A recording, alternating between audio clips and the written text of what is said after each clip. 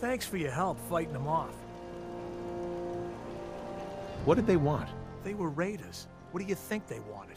Everything we've got at a minimum. Maybe also kill us all or worse. Anyway, we appreciate the help.